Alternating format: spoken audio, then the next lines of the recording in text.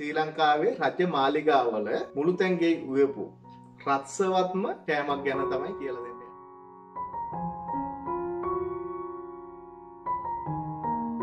ලෝක කොහේ හිටියත් ඔයාලා මේක දෙන්න තමන්ගේ දරුවන් දරුව කැමතිවේ විශේෂෙන් මම මේ පණවිට දෙන්න ඕනේ පොඩි දරුවන්ට.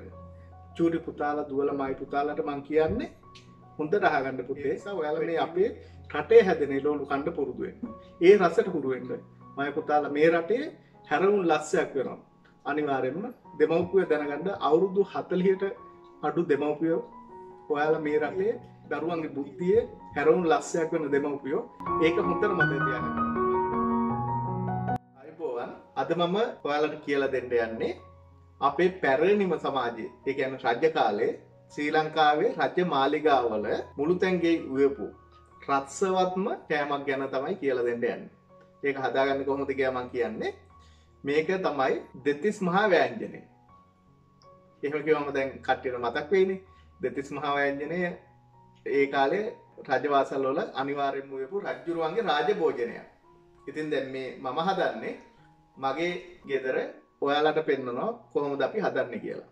එතට ඔයාලත් ඒ විදිහට මේ රාජභෝජනය ගෙදර හදාගන්න පුළුවන්. ඉති මේක එලවලු අලවර්ග පලාවර්ග මම තිස් දෙක කරගන්නවා ඉතින් මේ දෙතිස් මහා වෑන්ජනය ගැන අපි කියනකොට සාමාන්‍යයේ අපිට එක පාරමද හිතරන්නේ අපි ඔය කටින පූජාවලට බුද්ධ පූජාවලට දැනට අපි හදනෝ දෙසිස් මහා වෑන්ජනය හදල බුදු අමුදුරට අප පූජ කරන බුද්ධ පූජාවට ඒක අපි බොහොම පිළිවලට ව්‍යන්ජන සාමාන්‍යයේ ඔය එක ගෙදරගෙනම අපි උපාසකම්මලා ගෙවල්ලොල හදාගෙන තිස් දෙකක් අරගෙනනවා ඒක වෙන වෙන වෙනම තියල තමයි කරන්න.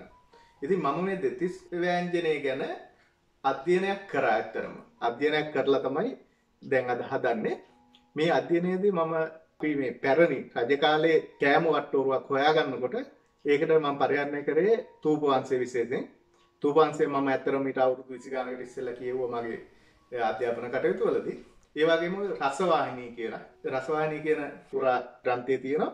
මහා වංශේ තියෙනවා. තව ඊට අමතරව තව තියෙනවා ඔය සෙල්ලිපි ගොඩක් තියෙනවා ලංකාවේ. සෙල්ලිපි වල පැරණි කෑම වට්ටෝරු ගැන සඳහන් වෙන තැන් තියෙනවා. ඒ වගේ මම ඒ මූලාශ්‍ර වලින් ඇත්තටම තොරතුරු ගත්තා. ඒ වගේම දැන් මීට අමතරව තියෙනවා අපේ පීබී සන්නස්ගල මහත්තයා සංස්කරණය කරපු පුස්කොළ පොතක් තියෙනවා. ඒක රජවාසල සූප පොත කියලා. ඒකෙත් තියෙනවා අපේ පැරණි ආහාර වට්ටෝරු ඒකනුත් බලාගන්න පුළුවන්. ඉතින් මම මේක ඔයාලගේ දැන ගැනීමට කිව්වේ මේ ඉගෙන ගන්න දරුවෝ මේක දැනගන්න. අපි පැරණි වට්ටෝරුවක් හදවන අනිවාර්යෙන් අධ්‍යයනයක් කරන්න ඕනේ. මම ඊට අමතරව දැන් මේ අපේ මේ දෙතිස් මහා ව්‍යංජනයට සමාන ව්‍යංජන අපේ ආසල්වැසි රටවල් වල මොන වගේ හරි තියෙනවද කියලා මම ඇත්තටම හොයලා බැලුවා. මොකද දැන් මම ජීවත් වෙන්නේ කැනඩාවේ. මට රටවල් ගොඩක විශාල ප්‍රමාණයක රටවල් වල සූපවේදීන් මෙහිදී හම්බ වෙනවා. ඒ වගේම පුජ්‍යලයෝ. ඒ සම්බන්ධ උනන්දුවක් දක්වන අය මට හම්බ වෙනවා. මම කීප දෙනෙක්ගෙන් අහලා බලපුවා. මට ඇත්තටම හොයාගන්න පුළුවන් වුණා මේ අපේ මේ දෙතිස් මහා ව්‍යංජනට සමාන ව්‍යංජන දෙකක් දැන්ට ඉන්දියාවේ භාවිතා වෙනවා. එයාලා හැබැයි මෙච්චරම දේවල් දාන්නේ නැහැ දැන්ට ඒ ලෝලු කීපයක් දාගෙන හදන්නේ.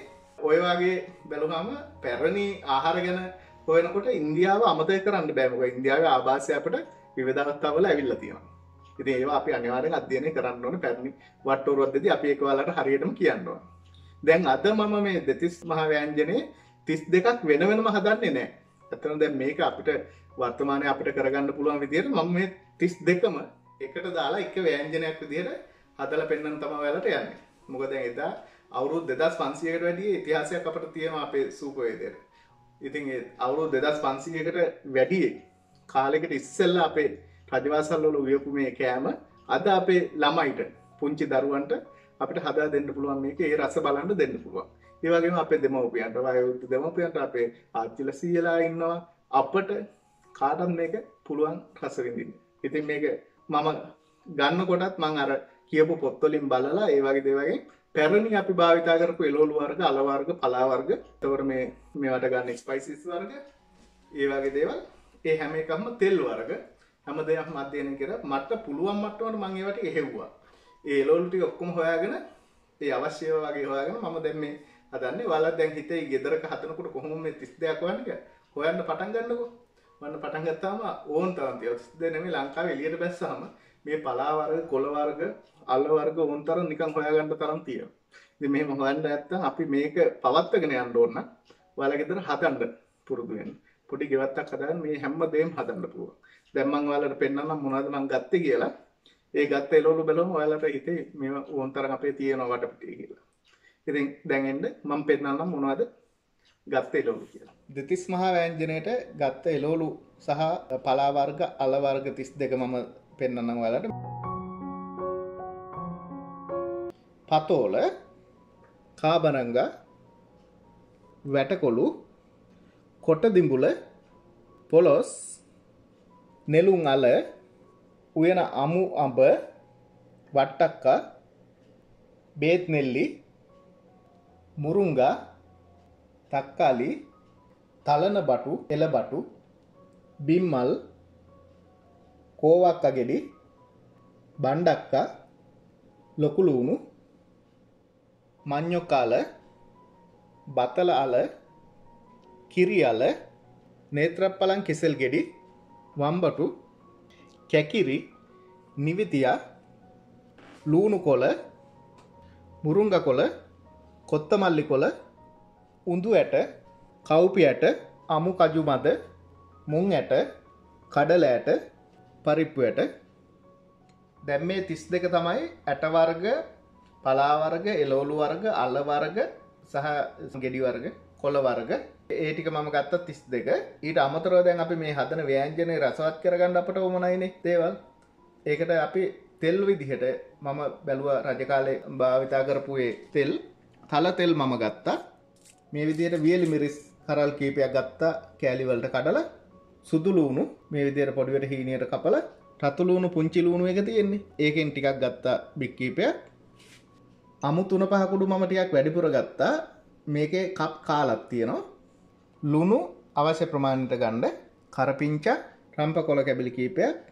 කහකුඩු මිරිස්කුඩු කෑල් මිරිස් සහ ගම් මිරිස්කුඩු අපට අවශ්‍යන වතුර වතුරත් මම මේ විදියට ගත්තා. ඉතින් මම දැන්වාලත් මේ පෙන්නපු එලෝලු ඇටවර්ග අලවර්ග කොළවර්ග ඒව තමයි අපි බිම්මල් වර්ග හතු වර්ග ගොඩක් දැම්මට කමන්න තමන් කැමති දේ දැන් බැලුවම තේරෙනවනේ ඔයාලට කොච්චර අපිට 32කට එළවලු ගන්න පුළුවන්ද කියලා. මේ එළවලු වර්ගත් අපි ජීවත් වෙන පළාත අනුව. එතකොට ඒ කාලය අනුව. ඔයාලට වෙනස් කරගන්න පුළුවන්. ඒ ඒකට අපි සාමාන්‍ය දැනුමක් අපි හදා ගන්න ඕන. දැන් විශේෂයෙන් කාලය ගත්තොත් දැන් මේ කාලේ ඔය කොරෝනා වගේ බහුලයිනේ. ඉතින් කොරෝනා වගේ කාලවල අපිට ප්‍රතිශත තියෙන මොනවද ආහාර වර්ග කියලා අපි බලන්න ඕන. එතකොට වැස්ස අධික කාලෙක නම් ඒ වගේ කාලෙක අපි පලා වර්ග පොඩ්ඩක් අඩු කරනවා. මොකද සමහර වෙලාවට පලා වර්ග පොඩ්ඩක් අහිත කරවෙන්න පුළුවන්. ඉතින් ගොඩක් පායන කාලවලට අපිට පලා වර්ග. ඉතින් ඔය සීතල එළවලු වර්ග තියෙනවනේ. ඒ වගේ එළවලු අපිට පාවිච්චි කරන්න පුළුවන්. ඒකයි මම කියේ කාලය අනුව එක වෙනස් කරගන්න කියලා. ඒකට අපිට සාමාන්‍ය දැනුමක් අපි එදිනදා ජීවිතේ අපි හදාගන්න ඕනේ. ඉතින් ඒ වගේ දැන් අපි බැලුවාම මේ එළවලු ගත්තේ දැන් රජ කාලේ මේ දෙතිස් මහා වෑංජනය රජවරු අනුභව කරේ මේක තිස් දෙකක් වෙනම උයනවා. උයලා රජ්ජුරුවන්ට භෝජාගාරට මේක ගෙනිච්චාම රජ්ජුරුව රත්තරම් පිගානක තමයි මේක අනුභව කරන්නේ. රත්තරම් පිගාන්ට මේවා දාන්නේ සාමාන්‍ය එකයි. දැම පුරා වෘත්තවල තියෙනවා මං කියන්නේ. මේක ඉන්න එක්කෙනෙක් බෙදන්ඩ ඉන්නවා. අරක් කැමියෝ මේවා හදපු හම එයාලා මෙහෙම රජ්ජුරුවන්ට බෙදනවා එක්කෙනෙක් බෙදන්න ඉන්න මේ ව්‍යංජන වෙනම තියෙනවා. ඉතින් රජ්ජුරුව මෙහෙ වාඩි වෙලා ඒ රත්තරම් පිගාන්ට බෙදවා බත් වර්ග තියෙන අපේ ආල් වර්ග සාමාන්‍ය තුන්දාහට වැඩි අපට තිබ්බගේ දැන්ට පරේසනලින් හොයාගෙන තියෙන තුන්සිය දාහතක් විස්සක් වගේ පමණ දැන්ට පරේසනලින් පරණ සහල් වර අපි හොයාගෙන තිය ඉතින් බතුත් ඒ වගේ බතුත් වර ගොඩක් තියෙනවා. එ එක බත් වරගින් දාන එක ව්‍යංජනයක් බෙදෙන රජ්ජුරුව මෙහෙම එක කටා කරගෙන කාලායක රස බලන්න ඉටවස්සේ පිගාන අයින් කරන එක්කෙනෙක් එකක් බෙදනවා. රජුරුව අනුභාව කරනවා. පිගාන අයින් කරනවා. හෙම තමයි තියෙන්නේ. ඉතින් දැන් අද අපි මේ ඔක්කොම එකට දාගෙන හදන්න මේ අපේ ලේසියටනේ. අපි ඒ විදිහට කරයන් අපිට 32ක් හදන්නක මේ කවදාවත් අපි ගෙවල් වල හදන්නේ නැහැ. මම ඒක දන්නවා. අනිවාර්යෙන් මේ හින්දා මම මේ විදිහට කියන්නේ. ඉතින් මේ මේ වගේ තියෙන විශේෂ ගුණ මේ 32ක් එක දවසට රජෙනෙක් කනවා කියන්නේ ඒ රජ්ජුරුවන්ගේ ඇවිල්ලා මහා මේ පුරුෂ සත්‍ය මහා බලගතු කෙනෙක් නෙමෙයා. ඉතින් එයාට ගොඩක් ප්‍රශ්න එනවා සමහර වෙලාවට. ගොඩක් දේවල් හිතන්න තියෙනවා. දැන් රටේ ප්‍රශ්න බලන්න තියෙනවා. එතකොට මෙයාට වෙන වෙන වෙනස් රටවලින් එනවා ආක්‍රමණය එනවා ඒවට මුහුණ දෙන්න ඕනේ අටේ ආර්ථිකය බලන්න ඕනේ. එතකොට හිටි ගමන් එක පාර දැන් මේ කාලේ වගේ එක පාර එනවා ලොකු විවසන එනවා වසංගත රෝග එනවා. ඒවට මුහුණ දෙන්න ඕනේ. ඒ ඔක්කොම කරලා දැන් පිට ඔක්කොම කරගෙන ඉතින් දැන් ගෙදර ටෙද්දි ගෙදරත් ඉන්නවා අන්තපුරත් 500 ඉන්නවා සාමාන්‍ය රජුරුවන්ගේ නීතියක් වගේ නේක ඉතින් එතනට ආවමත් එතන ප්‍රශ්නේ. ඉතින් මේ මානසික ආතතිය ඒ හැම දෙයක්ම බැලන්ස් වෙන විදිය තමයි මේ සූපවේදී මේ හදන්නේ එයාල හදන්නේ දැන් මේ වර්තමාන සූපවේදීන් පෙන්ලා දෙනවා මේ සමබර ආහාරයක් ගැන ඒ සමබර ආහාරයක් ගැන කියනකොට ඉස්සර තිබ්බ අතීතයේ තිබ්බේ කෑම වේල පරීක්ෂකයේදී බොහොම සමබර ආහාරයක් තමයි රජුරවන්ට දීලා තියෙන්නේ. ඉතින් මේවා ඇත්තටම ඒ කාලේ රටවැසියන්ට බොහොම හම්බුන්නේ මේ වගේ යාලා ඉඳලා තියෙනවා. නමුත් එයාලා එකින් දෙක හරි ගෙවල් වල හදාගෙන කාලා තමන්ගේ ශරීරය හොඳට පවත්වගෙන ගියා. ඉතින් ඒ වගේ මේ වගේ තියෙන විශේෂ ගුණෙත් අපි දැනගන්න ඕනේ. දැන් විශේෂයෙන්ම මම දැන් මේ කොට දිඹුල කියලා මේක ගත්තා. මේක පළාතෙන් පළාත වෙනස් නම් භාවිත කරනවා. දැන් සමහර පළාත්වල කිය කොට කිඹුල කියලා. සමහර කොට දිඹුල කියලා. සමහර දැන් සබරගම පළාත වගේ පැතිවල නුවර පළාත කොට සිඹුල. ඒ වගේ නම වෙනස් වුණාට එකම දේ තමයි මේ පළතුර දැන්ට විදේශ රටවල් වල අය දන්නවා මේ පළතුර හරිම ගණන් වැඩි මිල අධික පළතුරක්. මේක ගොඩක් ගම්වල තියෙනවා. ගම්වල තියෙන කොට කිඹුල කිව්වහම ගණන් ගන්න කැලේ හැදෙන ගහ. වල බලන්න ටිකක් මේක වලට ඉන්ටර්නෙට් එකේ සර්ච් කරලා බලන්න පුළුවන්. කොට කිඹුල කියලා බලුවාම කොට කිඹුල කිව්වත් මේක තමයි එන්නේ. ඉතින් බලන්න ඒක ටිකක් දෙල් කොලේට වගේ ටිකක් ලොකුවට කොලේ හුරු එකක්.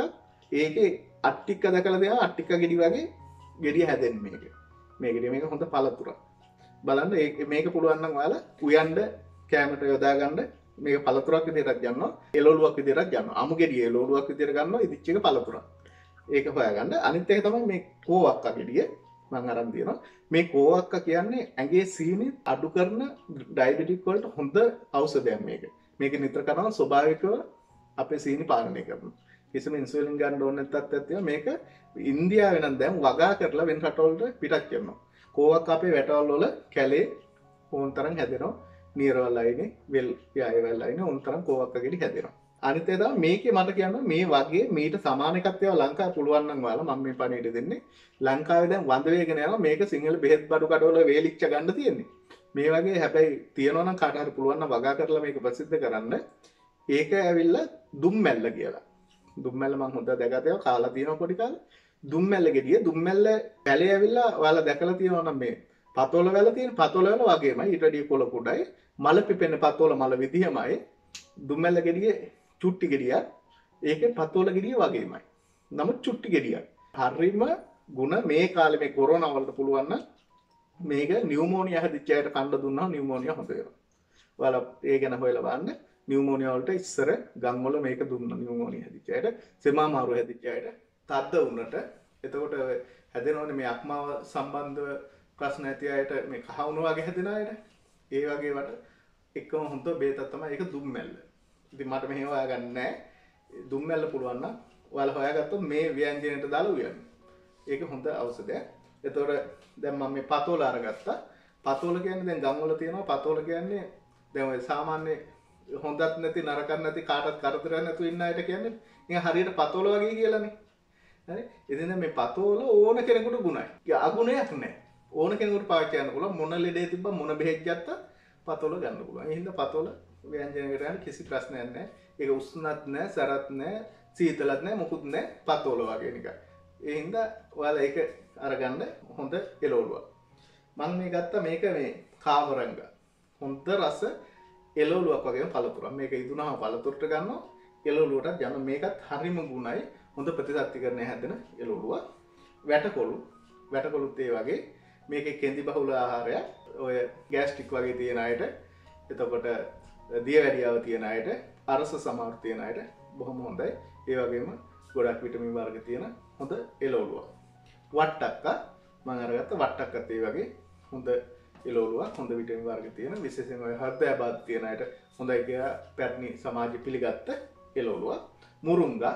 මුරුංග කියන්නේ අත්ති විශිෂ්ට එලෝලුවක් ඒක සමහරු කියන මේ දිවිය ලෝකෙන් ආව එකක් කියලා කියනවනේ ඒ වගේ දැන් ඔය ඉන්දියාවේ හැම ගොඩක් කියනවා ඒකෙන් ඇවිල්ලා දිව්‍ය ලෝකෙන් ආව එළවලු වර්ගයක් කියලා. ඉන්දියාවේ නම් ලංකාවෙත් එහෙමයි. හැම කොටසක්ම මුරුංගහි ගුණයි. ඉතින් මම මුරුංග කරලුත් ගත්තා මුරුංග කොළ.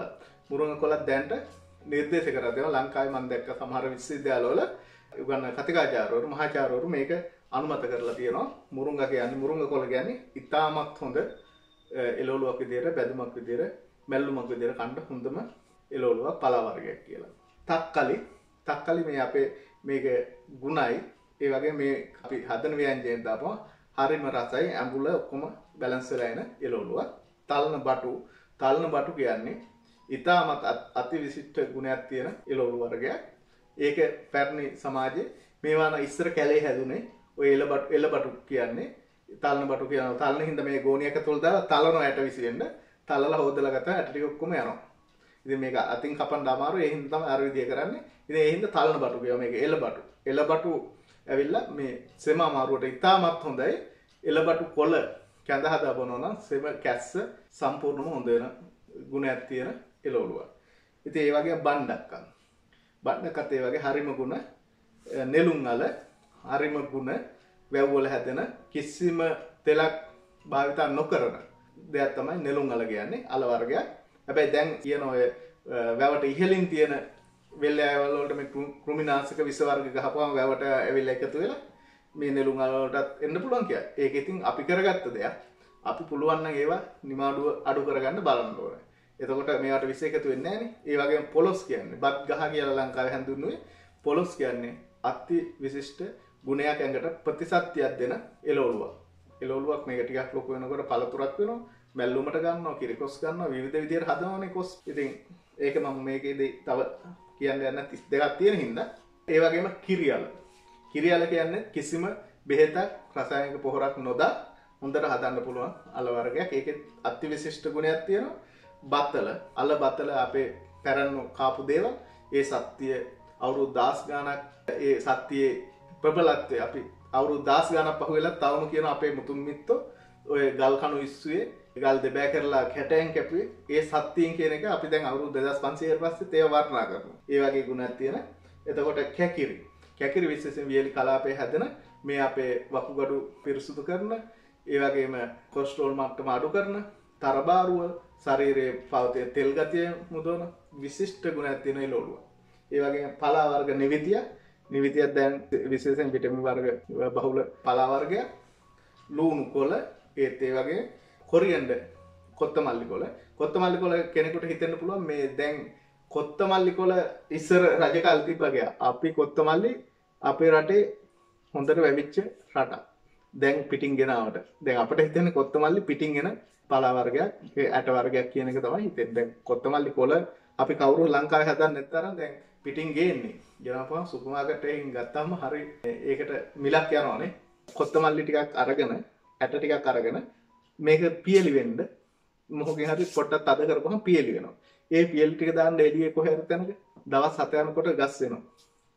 දවස් 10 12 යනකොට ඔයාලට කොළ කඩලා ගන්න පුළුවන්. හරි ලේසි. මේකේ හරිම ගුණයි මේ කොලෙස්ටරෝල් මඩින්න හොඳ පලා වර්ගයක්. ඒ වගේම කෑම වලට දාපුවාම මේකේ රස හොඳ දැන් අපි ලංකාවේ කරපිංච පාවිච්චි කරනවා ඉන්දියාවේ ගොඩක් ප්‍රදේශවල කොරියන්ඩ තමයි පාවිච්චි කරන්නේ. ඒ විශේෂ රසක් තියෙනවා සුවඳක් තියෙනවා හරිම වටිනා පලාවර්ගයක්.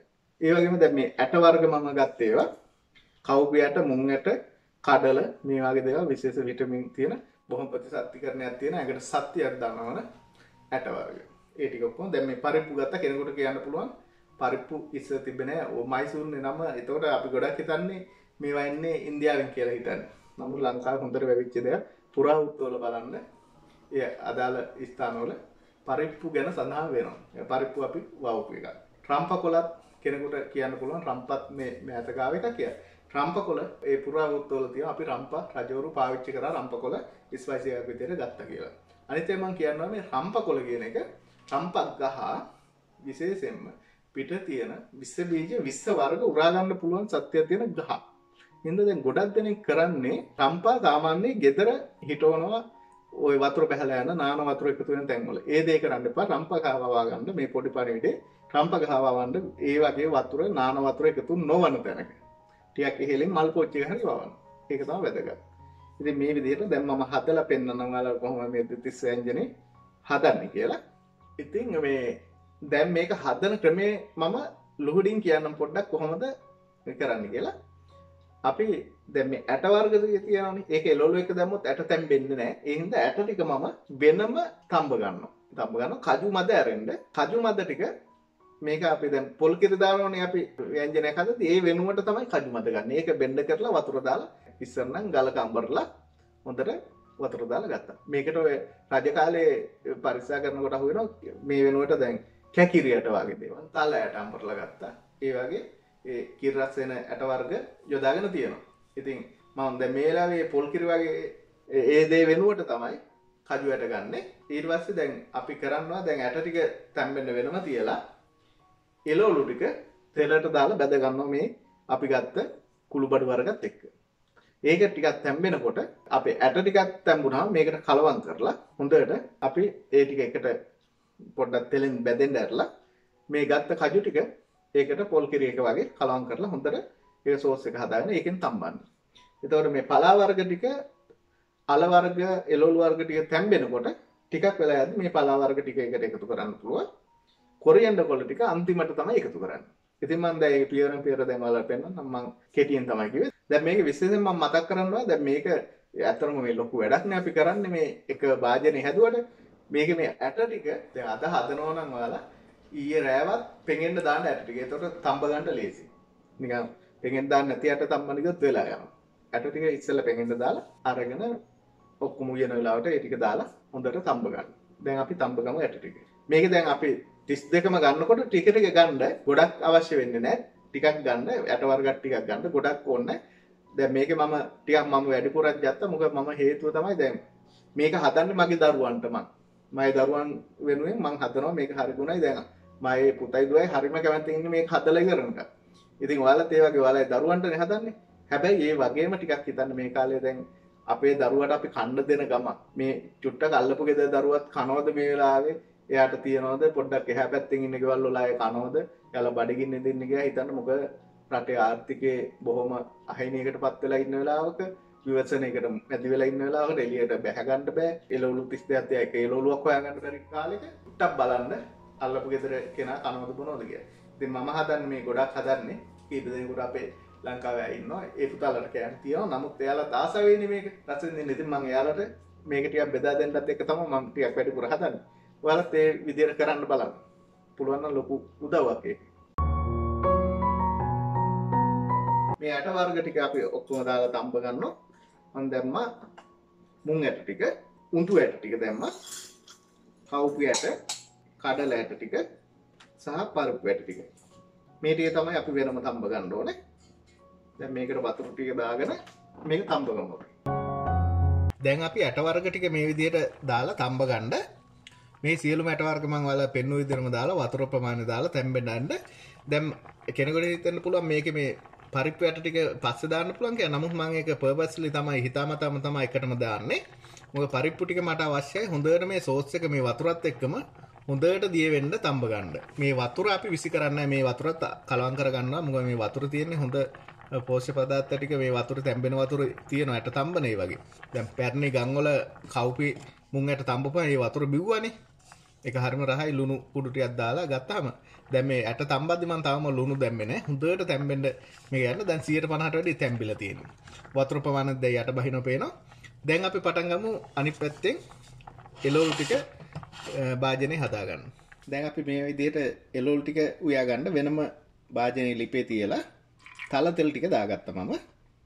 දැන් අපි මේ වගේ තෙල් එක රත් වෙද්දී අවශ්‍ය කරපිංච ටික මේ විදිහට දාන්න. කරපිංච කොළ ටික කලින් ටිකක් බැද ගන්න. මේක ඔයාලා තල තෙල් භාවිත කරන ඇති කෙනෙක් නම් කලින් ටිකක් පොල් තෙල් වලට වැඩිය පොඩි අලුත් අත්දැකීමක් එයි. මොකද මේ අර මේකේ අන්තර්ගත වායු ප්‍රමාණය වැඩි නිසා ඒකේ බුබුලු දාන ප්‍රමාණය වැඩි වෙනවා. ඒ හින්දා ඒකට බය වෙන්න එපා. පොල් තෙල් භාවිත කරපියන නම් පොල් තෙල් පැහැෙනවට වැඩිය වෙනස් ක්‍රම ටිකක් අර උතුරන්න වගේ පෙන උඩට එන ගතියක් එනවා මේකේ. අපි ගත්ත කෑලි මිරිස් ටික දාගන්න ඊට පස්සේ කරපින්චත් එක්ක බැදෙන්න. දැන් අපි ගත්ත පොඩි ලුණු එක තියෙනවනේ ඒක බැදෙන එකට දාගන්න. මේ විදිහට සුදු ලුණු ටිකත් මේ විදිහට දාගන්න. කම්පකොල දෙකත් ඒකටම දාන්න.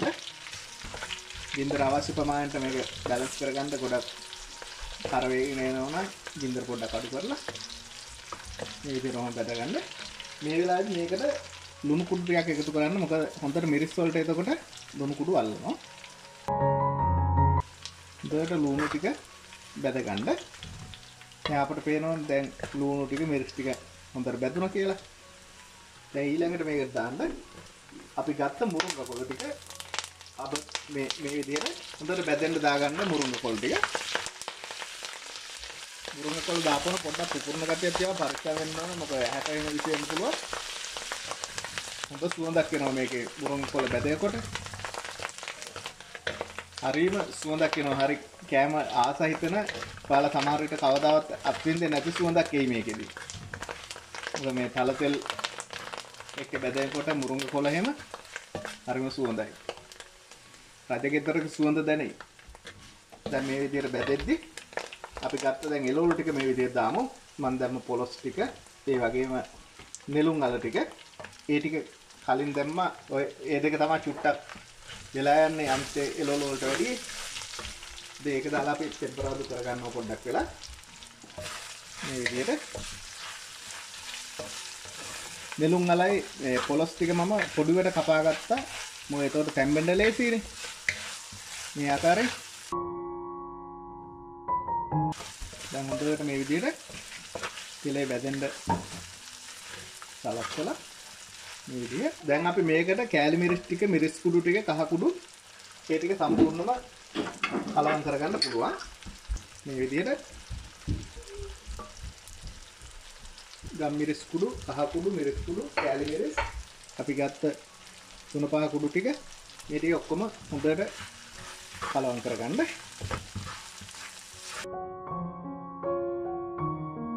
දැන් මේ වෙලාවේදී අපේ ඇට ටික තැම්බිලා තියෙන්නේ.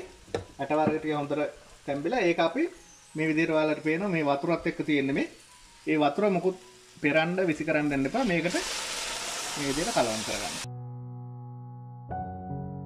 දැන් සියලුම එළවලු වර්ග මේකට කලවම් කරගන්න අපි මේ විදිහට. පලා වර්ග ටික පොඩ්ඩක් ඉතුරු කරගන්න එළවලු වර්ග පල වර්ග ටික කලවම් කරගන්න. මේ දැන් ගොඩක් තිබ්බට මේක තැම්බෙද්දි ප්‍රමාණය අඩු වෙනවා. මේක දැන් ඔයාලට ඇත්තටම උයද්දි ජීවිතේ කිසිම දවසක කෑමක් උයනකොට ආවේ නැති සුවඳක් දැනෙයි. එහෙම ආවොත් තමයි සාර්ථක වෙන්නේ. ඉතින් හිතන්න රජ මාලිගාවල එන සුවඳ තමයි ඒ ආවේ කියලා. හිතන්නකෝ. දැන් අපි මේ වෙනකම් මේක තෙලෙන් තමයි තැම්බුවේ. දැන් මේ වෙලාවේ වතුර ටිකක් තව කලවම් කරගන්න. දැන් අර ඇටවල තිබ්බ වතුරක් තියෙනවා ලාවට. නමුත් මේකට අමුතුවෙන් උණු වතුර ටිකක් දාගන්න. කල වර්ග එහෙම තියෙනවා තැම්බෙන්න හොඳට. හොඳට දාලා දැන් මේක වතුරත් එක්ක කලවම් කරගන්න. දැන් මෙහෙම උයාගත්ත එක තමයි අපි කජු මද ටික හොඳට අඹරලා මේකට සෝස් එකක් විදිහට දාන්න ඕන. ඔයාලට අවශ්‍ය ප්‍රමාණය බලන්න ලුණු එහෙම මදි නම් මේකට බල ඔයාලයි ප්‍රමාණයට ලුණු දාගන්න කිසිම ප්‍රශ්නයක් නැහැ. පළවෙනි වතාවෙම දානකොට ලුණු මදි වුණා කියලා එහෙම දෙවෙනි වතාවේ දාන්න නැතුව ඉන්න එපා අවශ්‍ය ප්‍රමාණය බලා දාගන්න. දැන් මේ විදිහට වතුර ටිකක් දාලා ගින්දර ටිකක් අඩු කරලා මද ගින්නට තියලා අපි හොඳ වැහෙන පියනකින් මේක වහන්න. නිමාඩු ඉදෙන්න. ඉතින් අපි දැන් මේ අපේ ව්‍යංජනය ටිකක් තැම්බෙනකන් කජු ටික අඹරලා සෝස් එක හදාගමු. දැන් අපේ දෙතිස් ව්‍යංජනේ ඉදෙනවා පිටිපස්සේ. ඒකට දැන් දාලා ඇත්තේ තව මේ පලා වර්ග ටික විතරයි. ඒ ටික හිමම තියෙනවා. ඒක අපි දාන්න ඕන වෙලාව මම ඔයාලට කියලා දෙන්න. ඉතින් දැන් මේ කජු මද ටික අඹර ගන්නයි යන්නේ. මේ විදිහට වෙන්න කපේට දාලා කජු මදත් මත තියාගන්න මේක අපි කලින් හොඳට පොඟව ගන්න ඕනේ අමු කජු මද හොයාගන්න නෑ අපිට. ඉතින් කඩෙන් ගන්න මේ වේලි කජු මද තමයි ටිකක් අයියේ හින්දා අපි ඒ ටික හොඳට කලින් පොඟව ගත්තාම අර හොඳ අමු කජු වගේ වෙනවා. මේ විදිහට දාන්න දැන් වතුර මේකට කජු මද වලින් උඩට එන්න දාන්න හොඳට ඇඹරෙන්න තියෙනවනේ ඒතකොට. දාලා හොඳට වහලා හොඳට මේක බෙන්ඩ කරගන්න. දැන් හොඳට ඇඹරලා තියෙන්නේ. හොඳ උප්පුවට තියෙනවා. දැන් මේක තමයි අපි පොල් කිරි වෙනුවට පාවිච්චි කරන්නේ. මේක හරි ගුණයක් තියෙනවා කජු මදනේ. දැන් අපේ වෑංජනේ මදගින්නේ තැම්බෙනවා. අපි පොඩ්ඩක් පියන ඇරලා බලමු කොහොමද කියලා. දැන් මේ විදිහට වතුර ටිකක් උඩට ඇවිල්ලා මේ ලොලු වල තියෙන උණු වතුර ඒව ඇවිල්ලා දැන් ඒකෙන් තැම්බෙනවා අපි වතුර ටිකයි මේකට කලවම් කරේ. දැන් මේ විදිහට හොඳට මේක කලවම් කරගන්න. මොකද මේකේ තියෙන අල වර්ග ටික අපි පොඩිවට කපලා දැම්මේ. ඉතින් ඒකත් තැම්බෙන්න ඕනේ. මේ විදිය දැන් අපි මේ මට්ටමට තැම්බුණාම 140ක් වගේ අලවර්ගයක් තැම්බිලා තියෙන දැන්. අපි අර ගත්ත පලා ටිකෙන් ඒ ටිකේ තව තියෙනවනේ අපි නිවිතිය එකයි ලුණු කොළයි. කොත්තමල්ලි කොළ ටික දාන්න එපා දැම්මම දැන් මේ නිවිතිය කොළ ලුණු කොළ දැම්මම ඒකෙත් වතුර ගතිය මේකට එකතු වෙනවා. දාලා හොඳට කලවම් කරලා මේ විදිහට හොඳට කලවම් කරලා තව විනාඩි දෙකක් වගේ මදගින්න මේක තැම්බෙන්න අරින්න.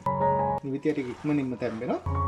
ඊට පස්සේ තමයි අපි අඹරගත්ත කජු මද ටික මේකට දාගන්න ඕනේ. වහන්න විනාඩි දෙකක් වගේ තව තැම්බෙන්න අරින්න. දැන් හරියටම විනාඩි දෙකකට පස්සේ මම මේක අරලා බලනවා. දැන් අපිට පේනවා මේ ටික තැම්බෙනවා නේ හොඳට. හොඳට මේකේ අඩිය බලන්න. මොකද දැන් අපි අර ඇට වර්ග එහෙම දාලා තියෙනකොට වතුර අඩු වෙන්නේ දාලා තියෙන්නේ. ඉතින් පොඩ්ඩක් පිච්චෙන්න බලන්න පුළුවන්. නමුත් අපි ගින්දර පාලනය කරගත්තාම අඩුවෙන් දාපුවහම එහෙම පිච්චෙන්නේ නැහැ. දැන් අපි මේ වෙලාවේ අපි අමරගත්ත කජු ටික මේකට දාගමු. හොඳ ක්‍රීම් එක වගේ ආව ලස්සනයි. මේ තියෙන මේ බලන්න මේ හොඳ ක්‍රීම් එකක් දානවා වගේ. දැන් මම ඔයාලට කිව්වේ අර ඉන්දියාවේ මීට සමාන කැම වර්ග දෙකක් මම හොයාගත්තා කියලා. ඒකට යාලා දාන්නේ මේ වෙනුවට සාමාන්‍ය දැන් පාවිච්චි කරන්න යාලා 35% ක්‍රීම් එක අරගෙන දානවා. මේක දාලා තමයි යාලා කලවම් කරන්නේ. දැන් බලන්න හොඳට කජු මත එක්ක ආවා මේ විදිහට දැන් මේකට තව ටිකක් අර බෙන්ඩ කප් එක හොදලා අපි වතුර ටික දාමු ඒක කජු ගොඩක් ඇල්ලලා තියෙන ඒ ක්‍රීම් එක වගේනේ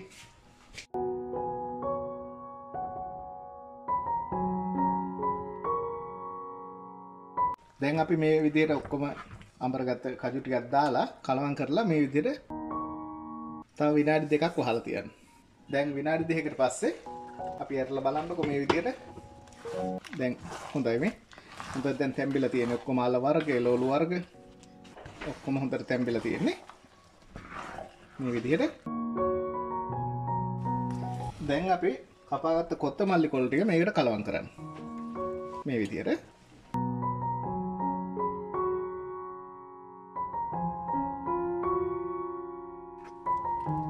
දැන් බලන්න කෑමක් අපට දැන් පොල් කිරි අවශ්‍යම නෑ දැන් ඒකට අතීතේ යොදාගන්න තියෙන ආදේශක තිබිලා තියෙනවානේ දැන් මේක බලන්න හොඳට දැන් මේ විදිහටම පොල් කිරි දැම්මා වගේ හොඳට කජු මද වලින් ආවා නේද?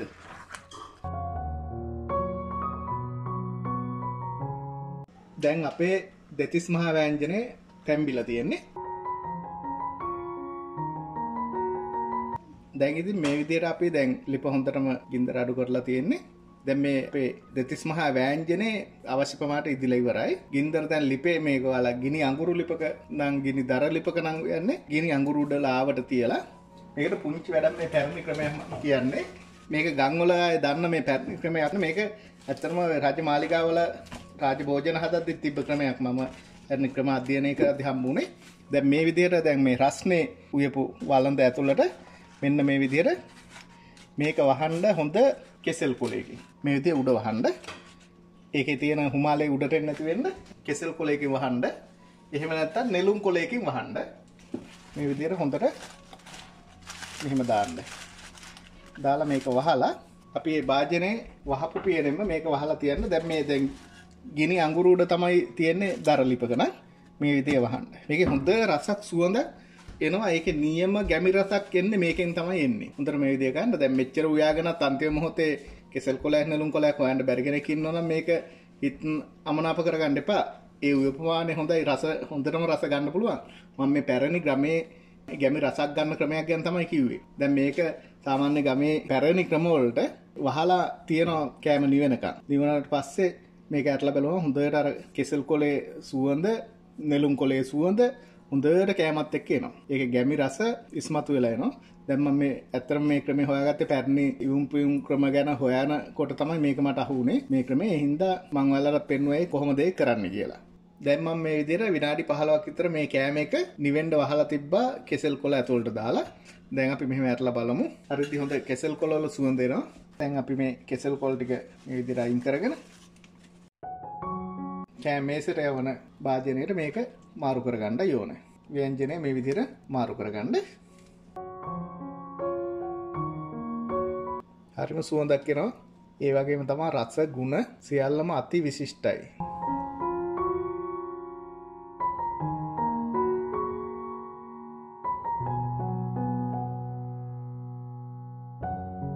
ඉතින් මම දැන් දෙතිස් මහා ව්‍යංජනේ මේ විදිර හදල ඉවරයි. අවසාන පියවර. මෙහෙම ලස්සනට මම දැන් මේ භාජනයටත් දාලා දුම් දානවා. හරිම සුවඳයි. මේ සුවඳ ඇත්තටම දැන් වලෙකුත් තේරෙයි ජීවිතේ කවදාවත් මේ සුවඳ ඇවිල්ලා නැහැ. මොකද ඒ විදිහට හැදුවේ ලොලු ඇට වර්ග, අල වර්ග 32ක් දාලා ඒතකොට තල තෙලෙන් බැදගෙන ඒ විදිහට මේ දාපු දේවල් උත් එක්ක එද්දි ඔයාලටම තේරෙයි කවදාවත් මෙහෙම සුවඳක් ඇවිල්ලා නැහැ.